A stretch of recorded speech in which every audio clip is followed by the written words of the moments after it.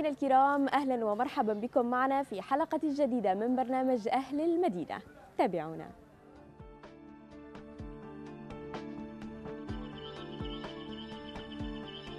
تشاهدون في هذه الحلقة الصحفيون في اليمن واقع لا يسر الناظرين. أحياء عدنية تكتب تاريخ المدينة.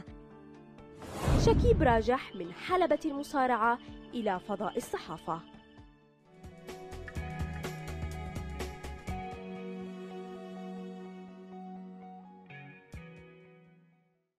نبقى الآن مع جولة إخبارية نتلمس فيها أهم الأخبار والأحداث خلال الأسبوع أشاد نائب وزير التعليم الفني والتدريب المهني عبد رب غانم المحولي بالدور الكبير الذي يقوم به صندوق تنمية المهارات في تنفيذ برامج وأنشطة تساهم في دعم الطاقات الشبابية والمهارات المبدعة في المحافظات اليمنية.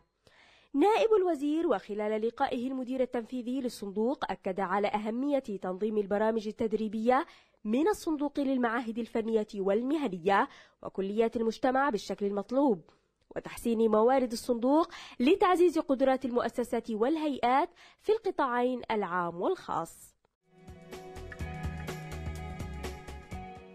لطالما كانت الصحافة مرآة صادقة للتعبير عن حقوق الناس السلطة الرابعة بين الإعلام المهني والإعلام الموجه البعيد عن الواقع قضيتنا لهذه الحلقة. واقع لا يسر الناظرين. هكذا يبدو حال الصحفيين اليمنيين في ظل استمرار الحرب الأهلية التي تدخل عامها الرابع. ولا بوادر لانفراج هذه الأزمة التي تعد الأطول والأسوأ في تاريخ البلد المدمي بالصراعات والحروب. وضع الصحفي في اليمن مرتبط ارتباط كبير بالظروف الحالية التي يمر فيها اليمن. هناك حالة من الحرب وهذه الحالة انعكست بشكل سلبي على واقع الصحافة. الكثير من دور الإعلام تعرضت لمضايقات كثيرة. هناك مطابع أحرقت ومؤسسات صحفية هجرت سواء في صنعاء سواء في تعز سواء في عدن. الكل استبشر خير بتحرير عدن وقال بأنه بيكون هناك أطر كبيرة للإعلام ومساحة كبيرة بأن يقوم بعمل مهمته الإعلامية بتوصيل رسالة الناس شرح معاناتهم والحرية بشكل أكبر لكن مع الأسف اصطدمنا بواقع مرير واقع مؤلم. بأننا غير قادرين على أن نؤدي رسالتنا بالشكل الصحيح وهذا يعود بدرجة أساسية إلى غياب الوضع الأمني. يدفع الصحفيين كغيرهم من اليمنيين فاتورة الحرب.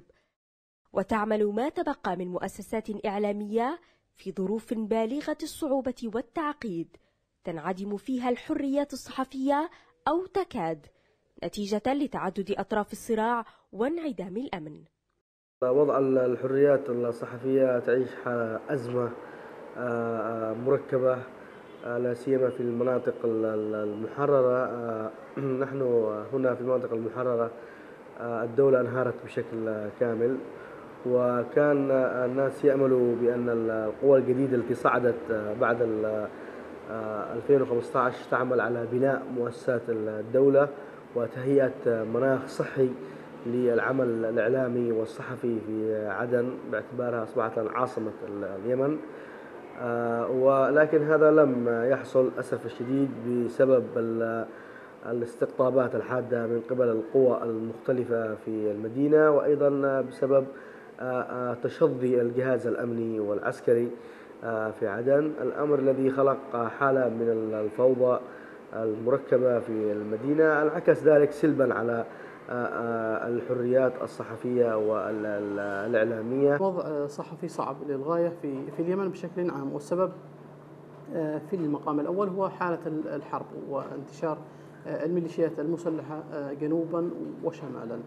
شخصيا أعتقد أنه الوضع العام للصحافة في اليمن وضع سيء لا خلاف على هذا وهذا السوء هو مرتبط بانتشار المسلحين غياب الدولة وتزايد حالات الانتهاك بسبب انعدام الأمن في غالبية المحافظات اليمنية. بأكثر من مواقع بالتواصل الاجتماعي تتداول أخبار اختطاف إعلامي، قتل إعلامي، منع إعلامي من مزاولة مهامه وهذا الشيء سبب لنا المخاوف خاصة وإن كانت من العنصر النسائي يعني قد يكون هذا للرجال يمكن في يعني في وضع معين يعني لا بأس به. لكن بالنسبة لنا كعنصر نسائي نجد صعوبة كبيرة يعني.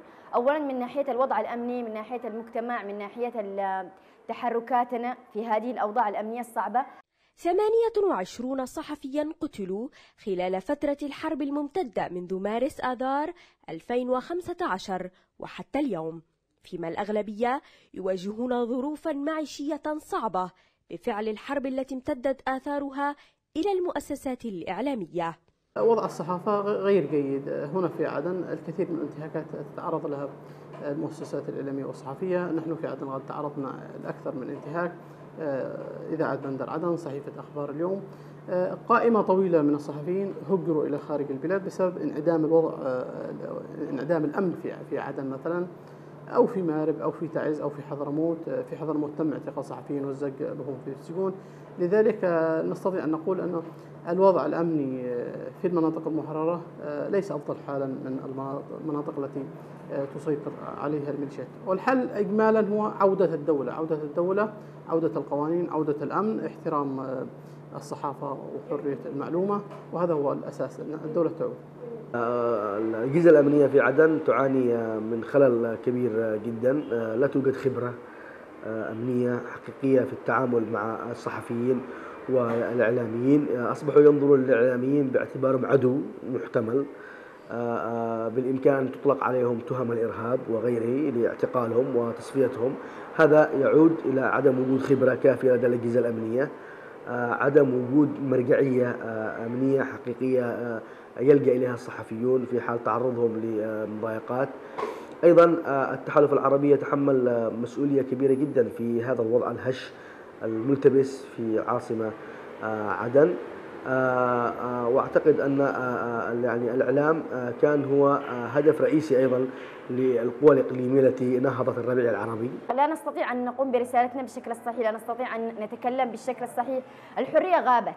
أي شخص يقوم بكتابة رأي في مواقع التواصل الاجتماعي في صفحة الفيسبوك إما أن تهكر صفحته وإما أن يتم اقتياده إلى تحقيق أو لجهات أمنية للاعتراف أنت تبع من وأنت لماذا تكتب هذه المعلومات.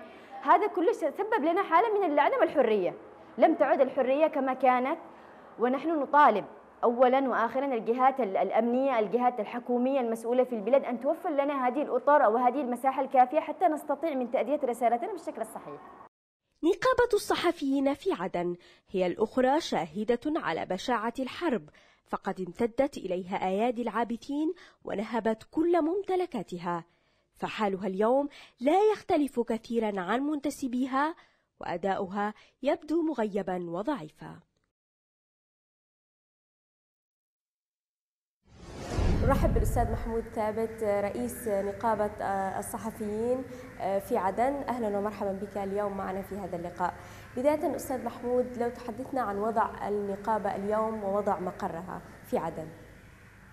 بسم الله الرحمن الرحيم. اولا باسمي وباسم الهيئة الإدارية لنقابة الصحفيين اليمنيين فرع محافظة عدن.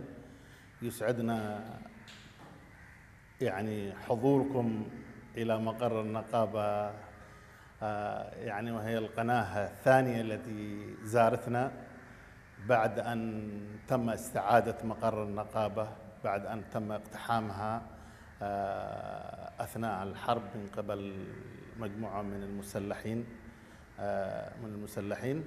وبفضل توجيهات دولة رئيس الوزراء الدكتور أحمد عويد بن دغر ومتابعة من قبلنا بصفتي رئيس آه، نقابة الصحفيين اليمنيين محافظة عدن والعديد من الزملاء آه، مع الجهات الأمنية في المحافظة ممثلة بمدير أمن محافظة عدن آه، اللواء شلال علي شايع الذي أسهم كثير جدا في استعادة مقر. نقابة الصحفيين وسلمنا المقر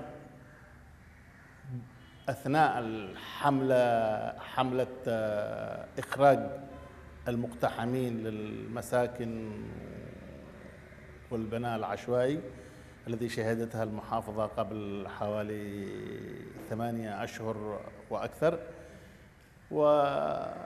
وبدأنا نحافظ على مقرنا من خلال إعادة سور المقر الذي تكسر أثناء الحملة أثناء الحملة بالنسبة للمقتنيات الداخلية هل هناك أشياء فقدت أو أشياء آه، نهبت؟ حقيقة آه، الأرشيف الصحفي كله نهب أجهزة كمبيوتر ومطابع و... وأدوات آه، تلفزيون ومكتبية كلها نهبت والذين آه، نهبوها هم معاريف وهم الأشخاص الذي استولوا على المقر آه، بعد تحرير عدن مباشرة. هل هناك أمل في استرجاع هذه الملفات والوثائق؟ ما أعتقدش.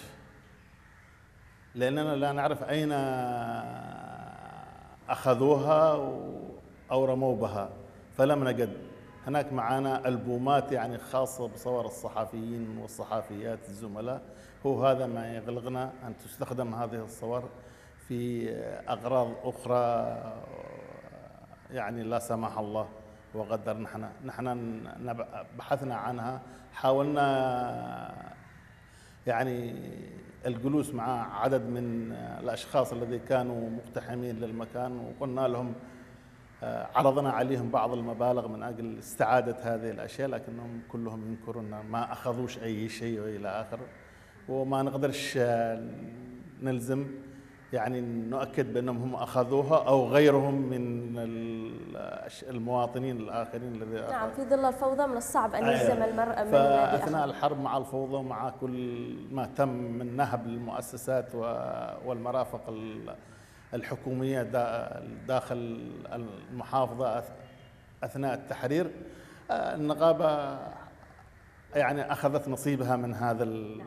اليوم أستاذ محمود كيف تقيمون وضع الإعلام والمؤسسات الإعلامية والعاملين فيها؟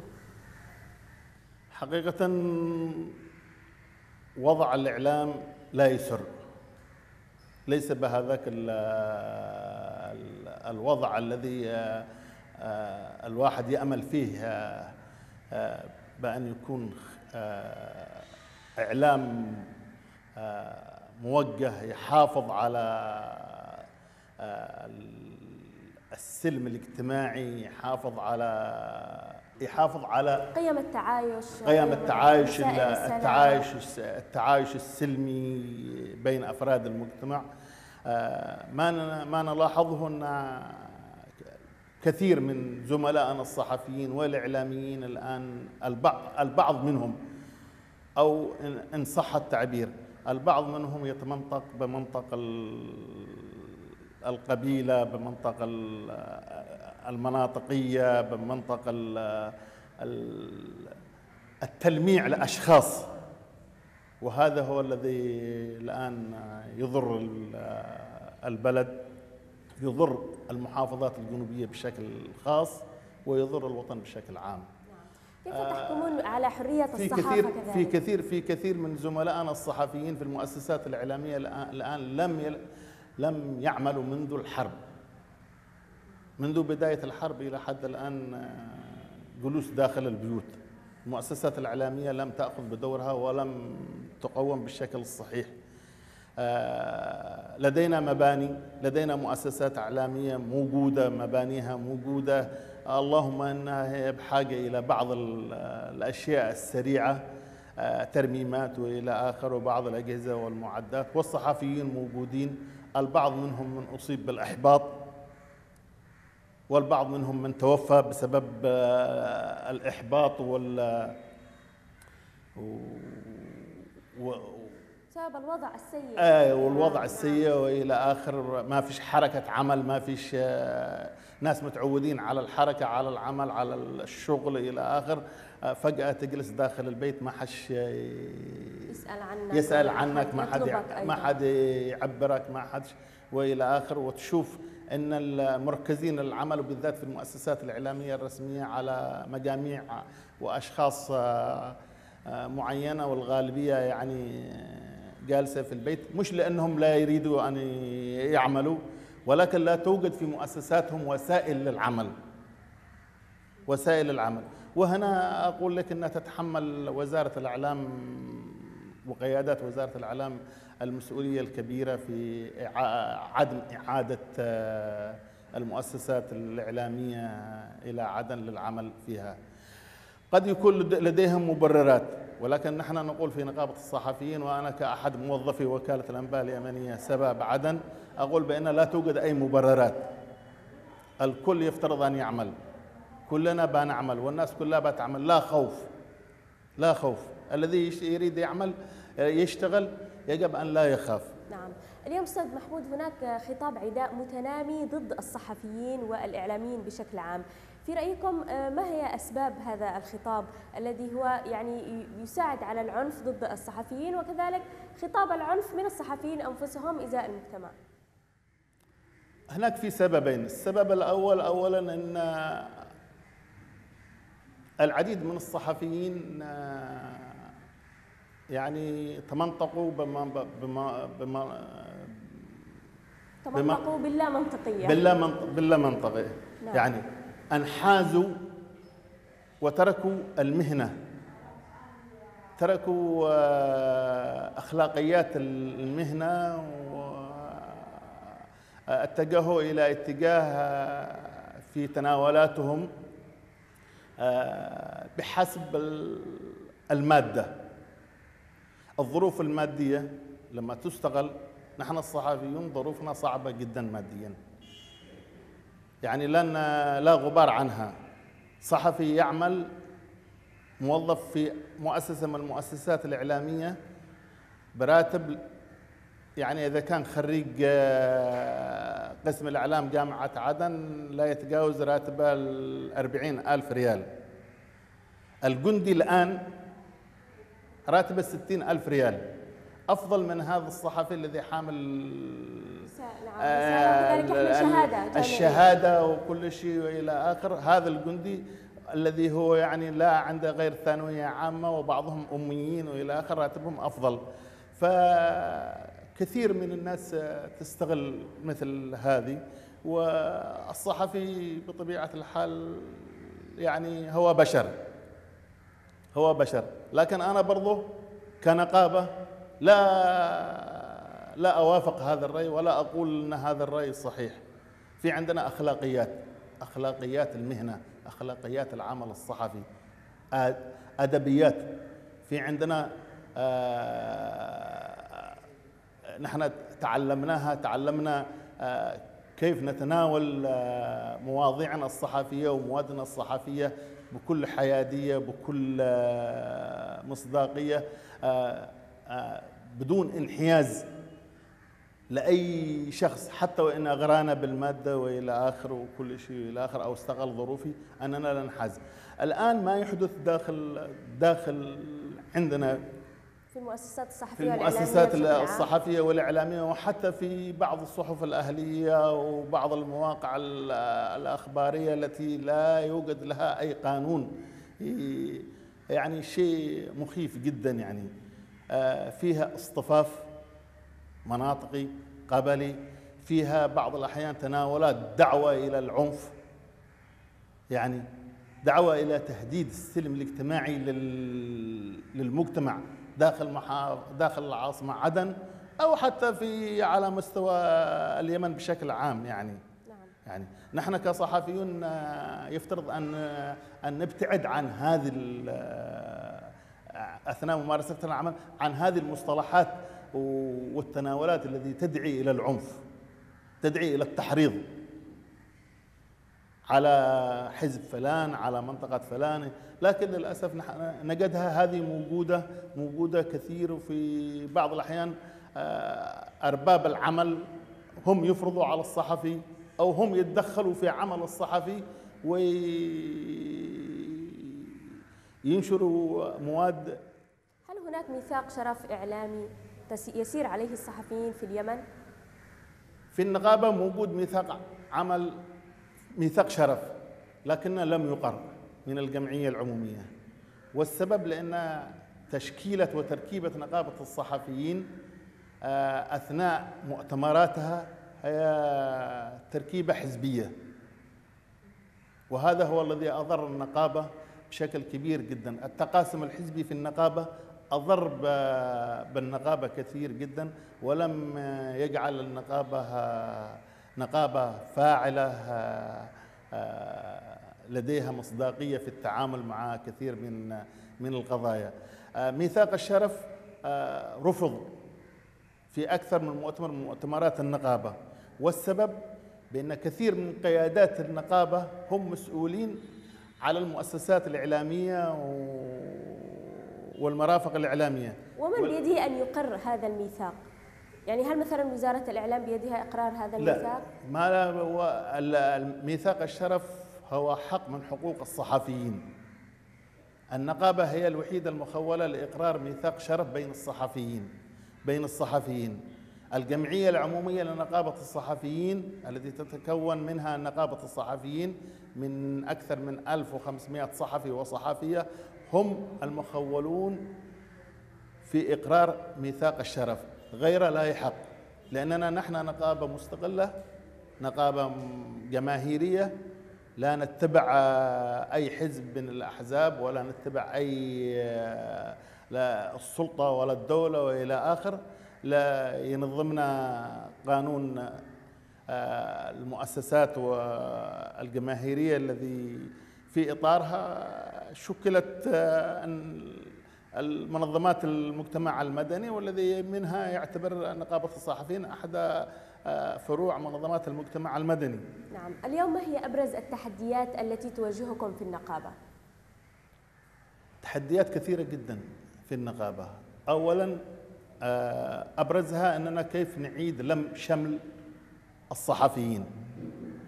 نحن نطرح على أخواننا في مجلس النقابة وعبركم عبر قناة بلقيس دعوة إلى قيادة النقابة مجلس النقابة بأن ينتقلوا إلينا إلى عدن موجود مقر نقابة بكامل يتبع النقابة الصحفيين ويفترض علينا أن نعمل من داخل عدن.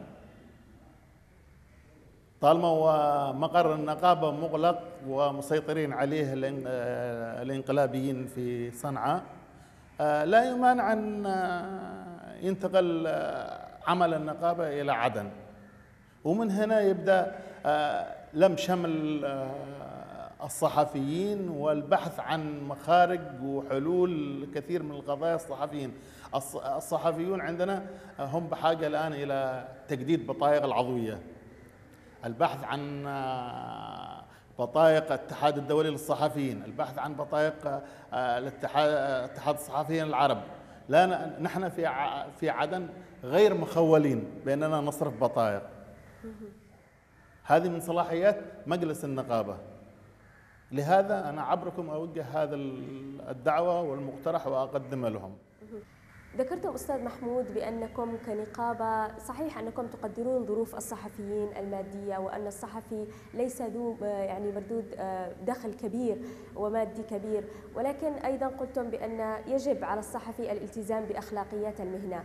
في المقابل ما هو دور النقابة في حماية الصحفيين في حال آه، يعني حدث لصحفيين ما أي مشاكل أو أي تداعيات أو تهديدات لأنه قد سار ضمن الأخلاق الإعلامية والمهنية. إذا جينا إلى يعني دور النقابة يفترض على النقابة أن تلعب دور كبير جدا لكن في ظل هذه الظروف في ظل هذا الوضع ونحن في وضع حرب في وضع حرب كثير من قيادات النقابة غير موجودة. الذين موجودين داخل صنعاء هو النقيب نقيب الصحفيين اليمنيين وأمين عام النقابة لكنهم مكبلين. إذا فتحوا النقابة وأرادوا أن يعملوا ويشتغلوا ويدافعوا إلى آخره ممكن يتعرضوا إلى كثير من الممارسات من قبل الانقلابيين. عدن في عندنا مساحة مساحة من من الدفاع عن زملائنا. ولكن في ظل هذا الوضع نحن يعني على ما يطبق علينا المثل العين العين بصيرة واليد قصيرة. واليد قصيرة. هذا المثل ينطبق على عدن بحكم أنها لا توجد إمكانيات. نحن داخل عدن آه، أضعف الإيمان الذي ممكن نعمله ونقدمه للصحفيين إذا تعرض لأي شيء بأننا نتواصل معه نشوف أيش مشكلته نعمل بيان نقري اتصالاتنا بالجهات التي قامت في حالة لم تستجيب نعمل بيان يعني نعم. نندد بهذا ننشر في في الصحف والمواقع قضية زميلنا وإلى آخره كنا في السابق عندما كانت الأوضاع كويسة النقابة ممكن أن آه، يعني تعمل محامي يدافع عن هذا الصحفي الذي تعرض أو يحضر جلسات المحاكمة حق آه، الجلسات أيوه حق محاكمة الصحفي أو حتى في البحث إذا مثلا أخذ إلى البحث الجنائي والى آخر ضروري عضو من نقابه يروح ما هي نسبة الجناية التي يرتكبها الصحفي إزاء المجتمع؟ في حال مثلا حدثت تجاوزات وهو أصلا لا يمتلك سوى القلم. يعني هي لن تكون جناية بسلاح أو بمسدس أو يعني هو حتى إن حتى إن غير فهو لن يغير سوى بالقلم. القلم أفضل من السلاح. قلم الصحفي سلاح بحد ذاته. فأما على الصحفي أن يستخدم هذا السلاح حقه لصالح المجتمع ولصالح الوطن ليضمن أول مرة يضمن نفسه ويأمن نفسه أو يستخدمها يعني بالعكس ويضر نفسه.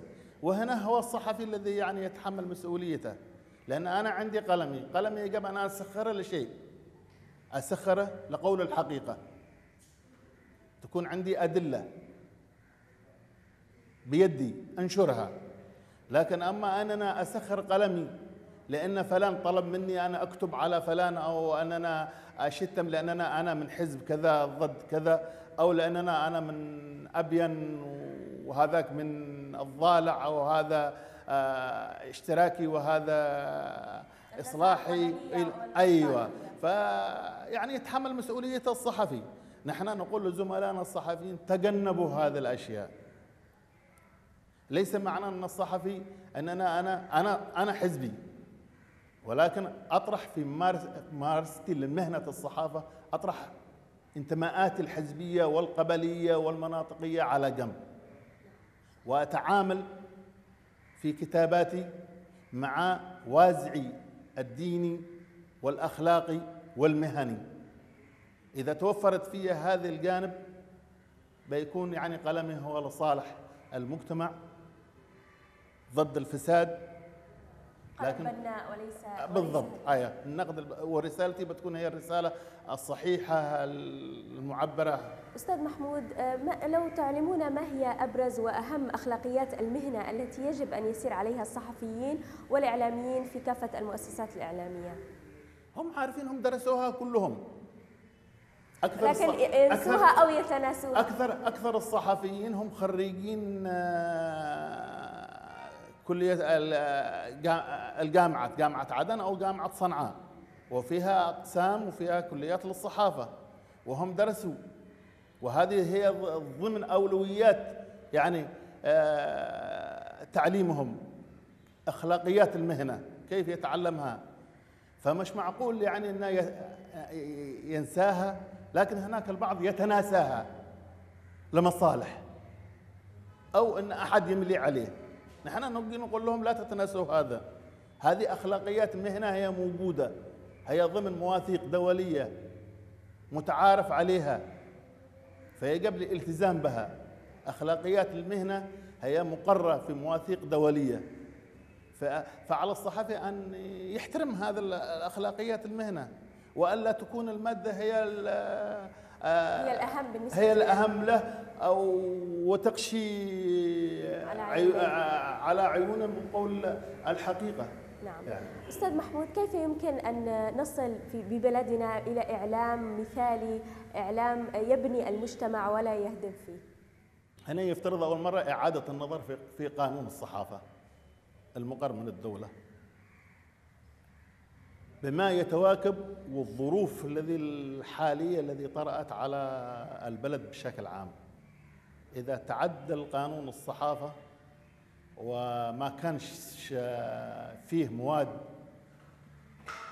مسلطة على رقاب الصحفيين والكتاب والإعلاميين آه، سنجد قانون صحافة يحترم.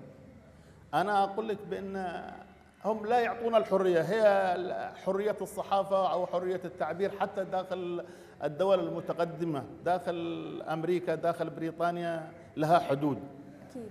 وعلى الصحفي أن يعرف هذا الكلام ويعيه نحن أخذنا دورات من من آه، خبراء يشتغلوا في صحف أمريكية وبريطانية كبيرة جدا. يعني لما يشرحوا لك يقولوا لك أن أنتم تعتقدون أن عندنا حرية الصحافة داخل أمريكا وبريطانيا؟ شوف داخل في في لها سقف لا تتجاوزوها. والدليل على ذلك آه، الرئيس ترامب لما طرد الصحفي وهو سأله سؤال طرده من داخل المؤتمر الصحفي حقه. قال له اخرج برا. يعني أستاذ محمود اليوم كيف تتعامل النقابة مع طلبات الانتساب الجديدة لعضوية النقابة نقابة الصحفيين بعدن؟ هذه هي مشكلتنا مشكلة كبيرة جدا جدا جدا مشكلة قديمة جديدة في النقابة. إذا كان هناك مشكلة في تجديد أيوه نحن أيوه نحن نحن في المحافظات الجنوبية نعاني منها كثير جدا وخاصة في عدن. لدينا طلبات كثيرة جدا من زملاء رفعت إلى المركز الرئيسي في صنعاء مجلس النقابة. ولكن لأن عدم تواجد لجنة القيد الذي هي مسؤولة عن فحص هذه عدم تواجدها آه، أو نتيجة للمماحكات السياسية بينهم آه، أدت إلى تجميد النظر في آه، كثير من طلبات العضوية. جاءت الحرب وزيدت زادت الأمر سوء زادت الأمر سوء إلى آخر. الآن نحن أنا كان هدفي من خلال الدعوة التي وجهتها لمجلس النقابة عبركم بأن يأتي إلى عدن للعمل من عدن. يكون من ضمن إطار عملنا داخل عدن هو النظر في طلبات عضوية الناس وتجديد البطاقة وهذا مهم جداً. هل تهتم النقابة بالنقابي بالصحفيين المنضمين المنتسبين إليها وكذا الصحفيين غير المنتسبين إليها أيضا؟ بالضبط. نحن حتى الصحفيين الغير منتسبين إلزاما علينا إخلاقيا وأدبيا أن ندافع عليهم في النقابة. مش بالشرط أنه يكون عضو نقابة وأننا أدافع عليه فقط لكن هذا صحفي مش عضو نقابة أتخلى عنه. لا هذا غير صحيح. أدبيات نقابة الصحفيين تقول تدافع عن كل صحفي وإعلامي سواء كان عضو أو غير عضو منتسب للنقابة أو غير منتسب عليك أن تدافع عليه. ختاما أستاذ محمود رسالة أخيرة تقدمونها من خلال هذا اللقاء. أنا أتمنى يعني عبركم أن تعيد آه، وزارة الإعلام والحكومة النظر في مسألة ضرورة تفعيل المؤسسات الإعلامية الرسمية داخل العاصمة عدن. طالما ونحن نقول عدن بأنها عاصمة يجب أن تفعل وسائل الإعلام وكافة المؤسسات الحكومية بما فيها وسائل الإعلام من داخل عدن. لأن كفاية ثلاث سنوات وشوية وقناة عدن داخل جدة وقناة اليمن داخل السعودية والمركز الرئيسي للوكالة داخل الرياض. إلى هنا كفاية. يفترض الكل يعود وهناك توجيهات من رئيس الجمهورية بأن الكل يعود. يفترض أن تحترم هذه التوجيهات. يعني لأن إذا عادت المؤسسات الإعلامية واشتغلت من عدن آه بتعود الروح للصحفيين والإعلاميين. أتمنى هذا. كما أتمنى من زملائنا أن لا يأخذوا المسألة أن خلاص ما فيش وسائل إعلام رسمية تعمل إننا نجلس داخل البيوت إلى اخره نحن الصحفيين يفترض أن نبحث. نبحث على أي عمل في أي مكان. من حقنا أن نبحث ونعمل فيها. وهذه هي الرسالة لهم وأتمنى من زملائنا الصحفيين أن إيه، يلتزموا بمعايير العمل الصحفي المهني الأخلاقي حتى يجنبوا أنفسهم كثير من المشاكل آه، الذي تشهدها الصحفيين بشكل عام إرشادات الصحفي أو يواجهها الصحفي بشكل عام. نعم. الأستاذ محمود ثابت رئيس هيئة نقابة الصحفيين فرع عدن شكرا جزيلا لك على هذا اللقاء. شكرا لكم.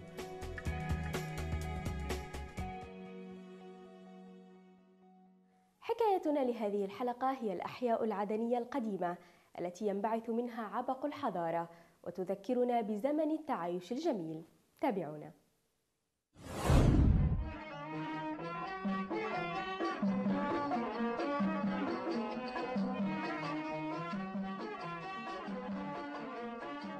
بنكهتها العدنية وطابعها المعماري العريق ما تزال أحياء مدينة كريتر تحمل مسميات قديمة ذات دلالة تاريخية.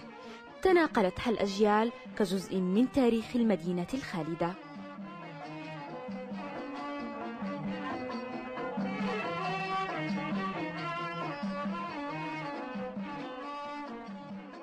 إلى الجنوب من المدينة تقع أقدم الأحياء السكنية كحي الشريف وحي جوهر وحي القاضي التي ظلت أسماؤها محفورة في وجدان الناس رغم تعدد أنظمة الحكم وتعاقبها في مختلف المراحل.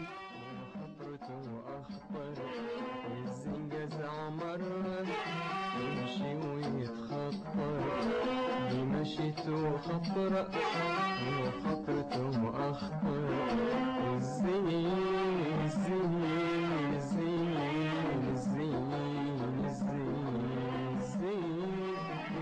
تذكر المراجع التاريخية أن تسمية حي الشريف جاءت نسبة للشريف الرفاعي الذي قدم من مكة المكرمة واستقر في عدن قبل نحو قرن من الزمن.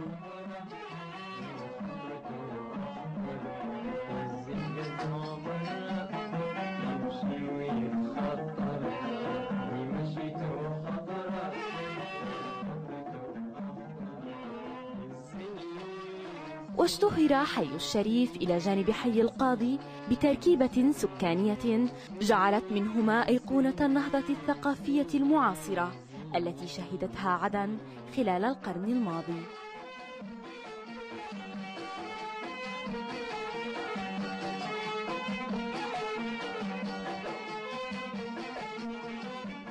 فإلى جانب كونهما احتضنا طلائع العمل الحزبي قبيل الاستقلال فقد أنجبتا كوكبة من الشخصيات البارزة في مختلف المجالات الإبداعية على مستوى الوطن والإقليم. كالفنان أحمد بن أحمد قاسم والمحامي الراحل بدر باسنيد والأديب أحمد شريف الرفاعي وعدد من الموسيقيين. أسمر يا أبو العيون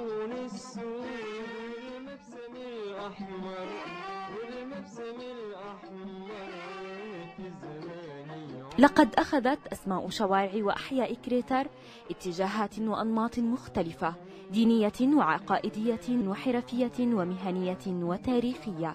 كتبت تاريخ عدن كمدينة حضارية حاضنة للثقافات والأعراق والأديان والأجناس المختلفة.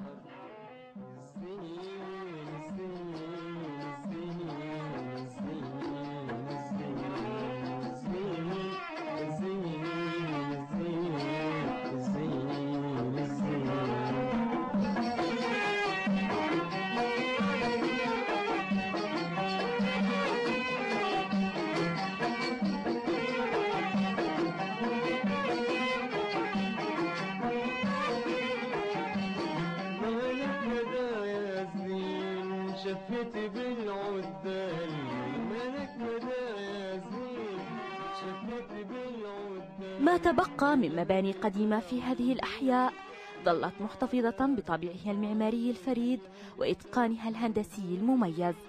لم يخدعها بريق المدينة الحديثة ولم تنجر وراءها بل تمسكت بخصوصيتها كلوحات فنية بديعة تحكي للأجيال الحالية والقادمة عن المدينة المحتفظة بالإرث القديم.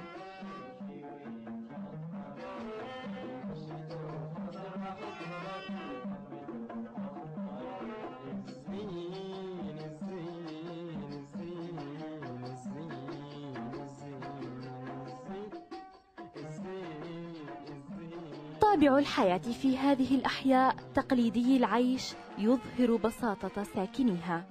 أما طابعها المعماري فله دلالات ومؤشرات على خلاصة الثقافات العديدة التي سكنت عدن منذ القدم وهي بخصوصيتها تلخص تاريخ حضارة معمارية فريدة.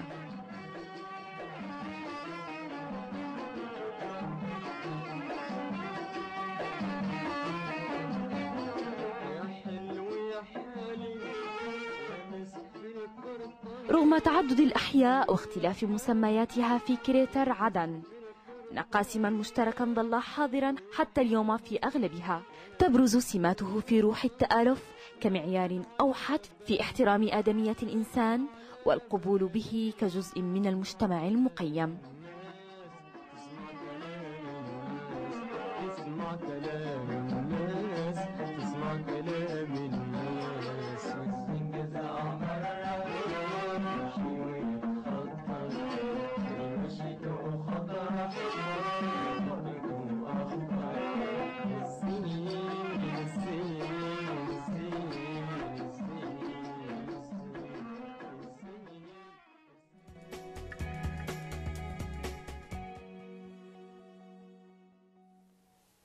بأن الصحفي قلم حر يكتب لأجل الناس وحقوقهم دفعه إلى الاستمرار في دنيا الصحافة.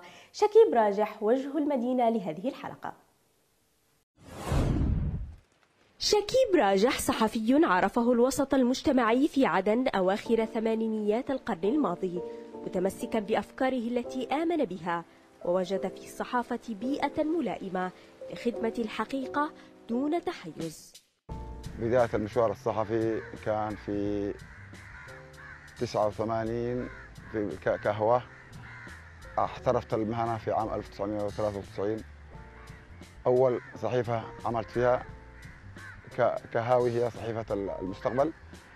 التابعة للأستاذ محمد سعيد سالم كان آه، حينها رئيس التحرير من ثم آه، عملت في صحيفة آه، الأيام مع المرحوم الأستاذ عادل العسم في قسم التحقيقات. عملت كمراسل لصحيفة الثورة في عدن ما بعد آه، ستة ستة بعد 94 في صحيفة الثورة.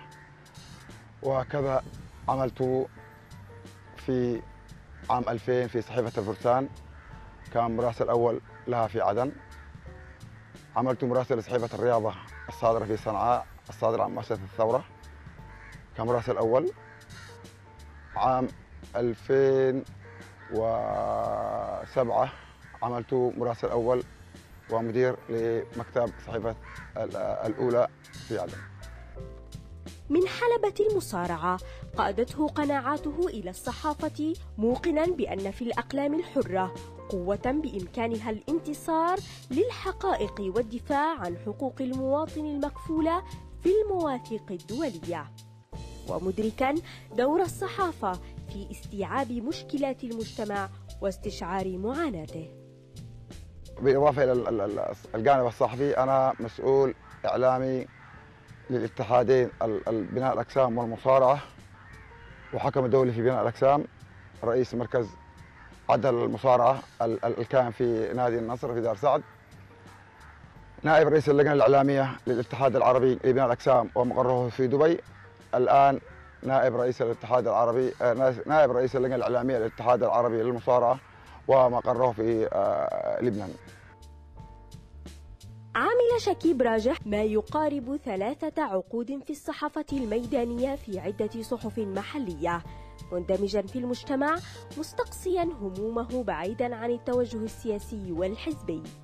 الجانب الصحفي توسع وكبر ونشط لكن للأسف الأقلام التي ظهرت مواكبة لهذا التطور ما هياش بذاك الحجم أو بذاك الكم الذي المفروض تكون تواكب هذا الحرية من الصحافة.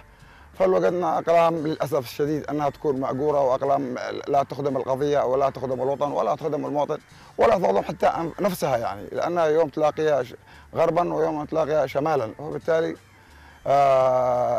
ليس لها وجود أو ليس لها أي نشاط يذكر لأنه حتى إذا أشرت القارئ من الصحفيين تقرأ بيقول لك فلان أو علان. إيش مادة صحفية؟ قريت له يمكن عجبتك مش داري لأنه أصبح حال الكتابة الآن ما هوش بذاك الحال يعني.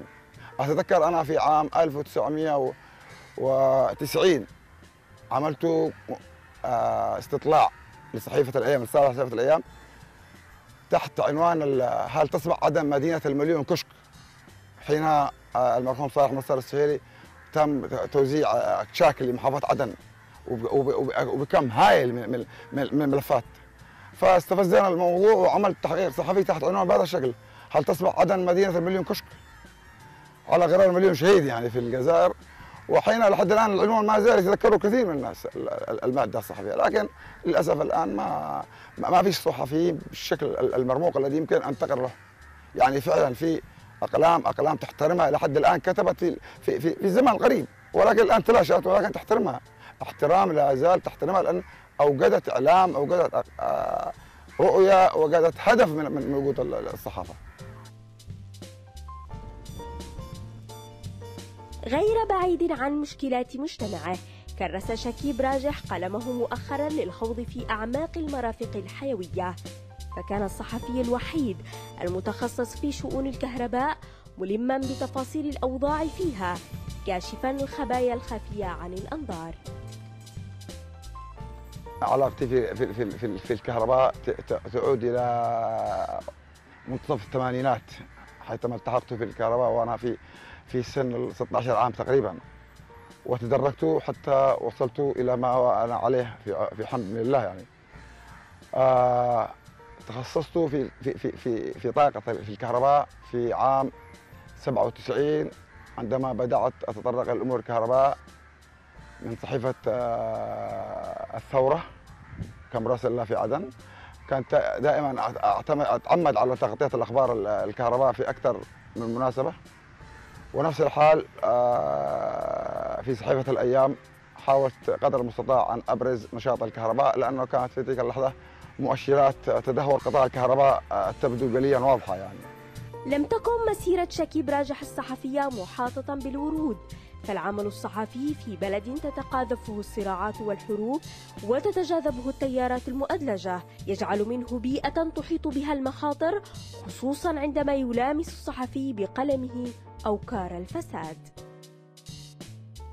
المستقبل معثم يعني المستقبل آه، يعني الواحد ما يكون متشائم ولكن ما, ما فيش بوادر انفراج الأزمة على على القريب على القريب على الأقل شيء يعني. لكن الغد هو بيد الله لكن الحال يعني يوصف بهذا الشكل إنه لا مستقبل على هذا على هذه الضبابية الموجودة الآن. نتمنى يعني نتمنى أن يكون الجو آه، صافي وأن تكون بعد غيمة الصيف تمطر. لأنه الناس فعلا تعبت والجميع تعب يعني. ونحن هنا من هذا المنبر يعني من قناة بلقيس. يعني ندعو كل الوطنيين يعني للالتفاف حول الوطن حتى يخرج من من المأزق الذي هو فيه. حبة بهذا الوطن والمواطن الذي عانى الكثير يعني. إلى هنا أذن الرحيل إلى اللقاء في حلقة أخرى في الأسبوع القادم.